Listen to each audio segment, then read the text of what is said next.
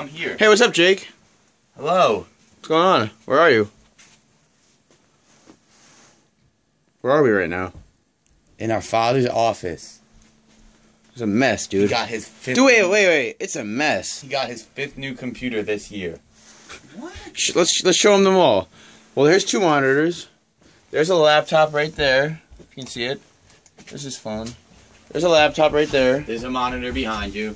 Uh, we got bags over here. Oh, there's a monitor. Somebody's cookies are on baked. Oh, there's Lana. Oh, hi. You're on YouTube, Lana. He has five tablets upstairs. We're talking about what my dad has, Lana. What your dad has. That's the fam. There's the wife. There's Mrs. RobArmy. Hey, Dad, talk to the people.